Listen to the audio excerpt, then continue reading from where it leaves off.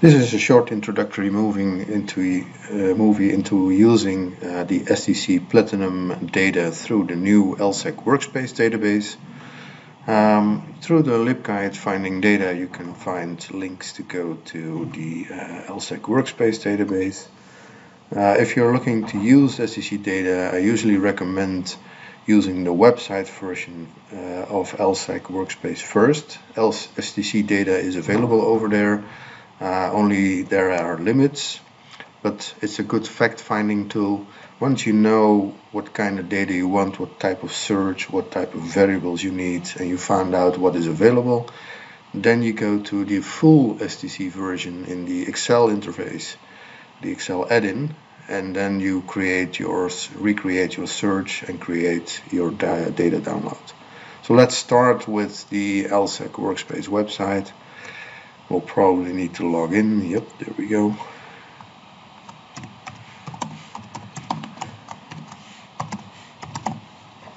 Let's do that. And once we're there, we go to a specific app that's available. At the top of your screen you see a search bar, so you can immediately look for the screener app. That's where we can find the SDC data uh, easily available for lists of uh, deals. You can create those over there. There's multiple ways to get to the SDC data but this is one of them. Uh, so basically we select what we want. We want deals M&A deals. You see here we have different types of stuff which you can recognize if you're familiar with SDC let's stick with the M&A data for our search we can make a selection based on filters over here. We can also search for specific filters. So let's go for uh, the nation headquarters.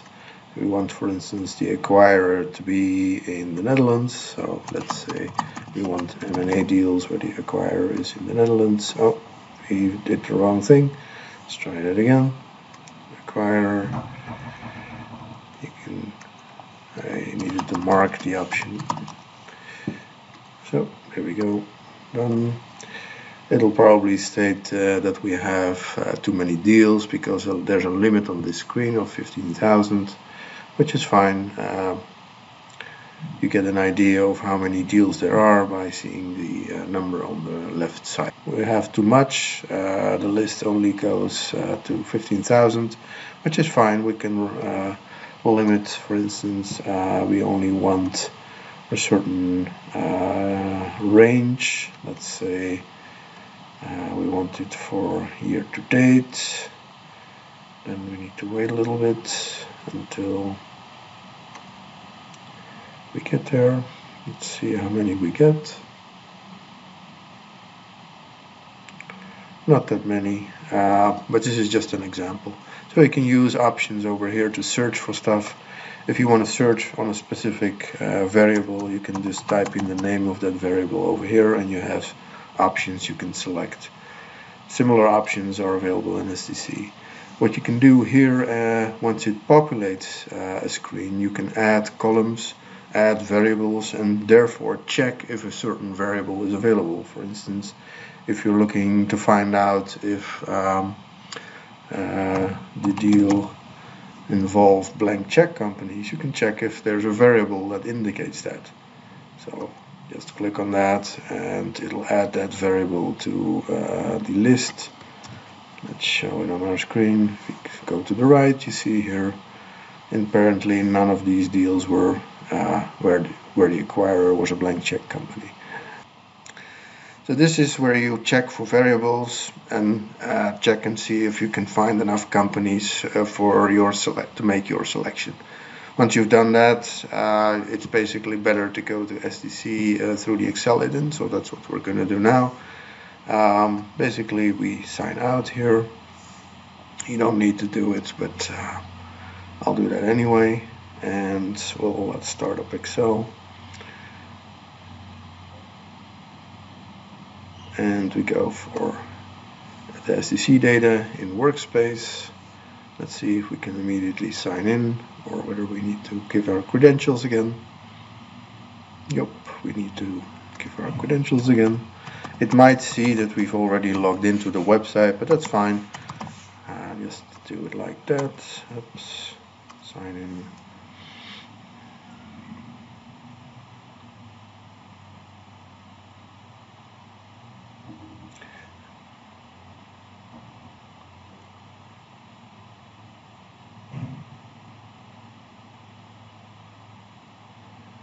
Right, so now we're signed in. Um, the deal data for SDC is basically available under the deals. There's a specific Excel add-in for that. So let's go to SDC Platinum. It'll show a new screen and this is where we do all the deal data and other options. We start a new session. You could choose uh, a specific selection of what you want to do. In this case, we're looking for M&A, so we'll select the tab for M&A. Uh, this is basically the old SDC in the new jacket, uh, but that's fine. So when we selected what we wanted, M&A, we click on Next, and uh, we get to the search screen. What we see here is uh, all the variables that, you can search on. You can type in the name of a variable, it'll filter the result.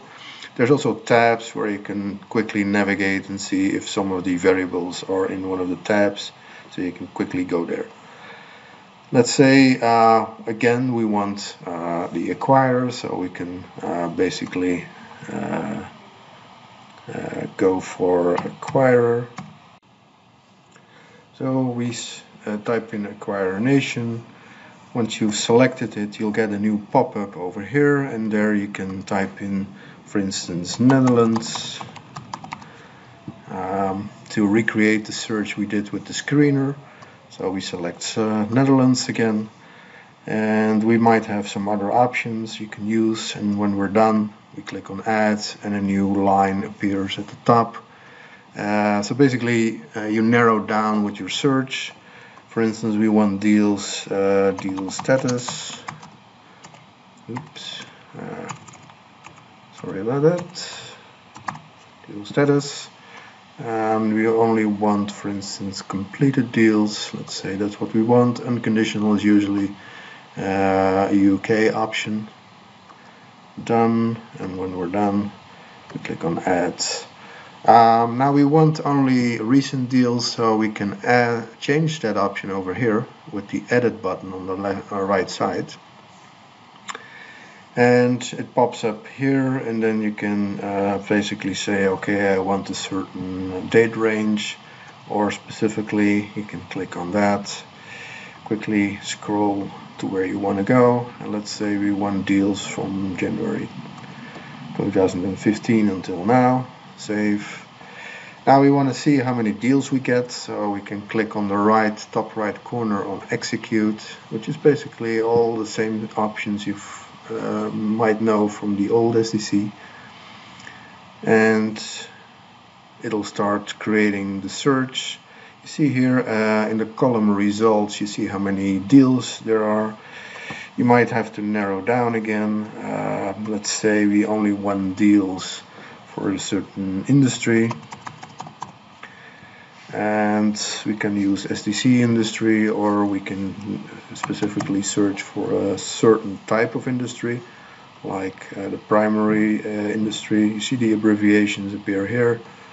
So we click on primary industry and what we want is basically let's say we want um, construction firms. Done.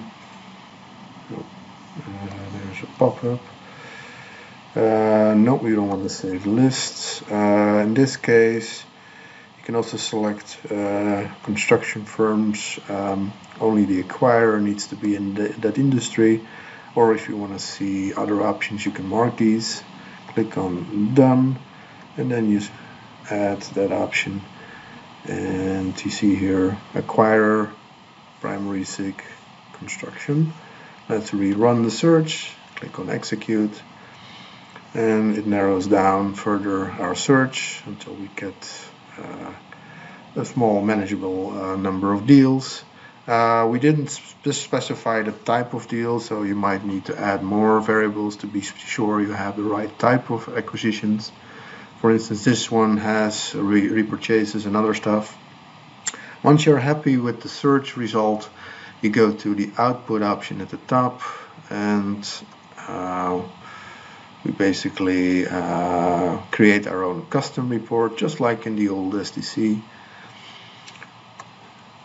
uh, and then you select all the variables you want to see uh, in uh, the, the, report. So usually I take some basic stuff like SDC deal number I want uh, names I want the name of the acquirer the full name let's add that I want the target uh, you can also have the parents sellers etc etc uh, let's add some dates. Uh, dates announced when the deal was announced. Date effective when the deal was finished. And we might want uh, deal value, for instance.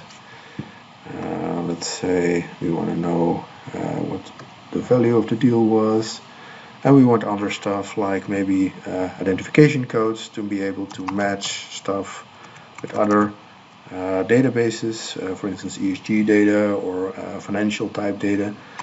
you can search for a number of variables and not everything is there. Acquire is an option. Um, so let's add that.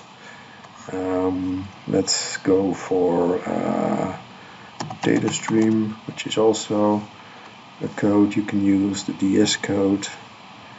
There's sometimes multiple versions. Uh, you can choose which one you want I want them for the acquirer done that and yeah let's say we want um,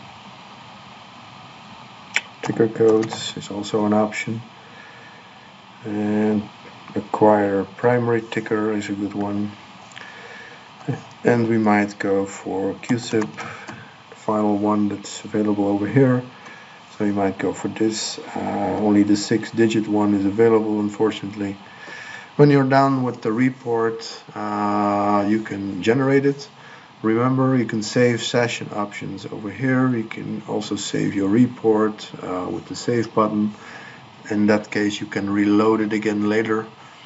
Uh, let's see how the report looks and execute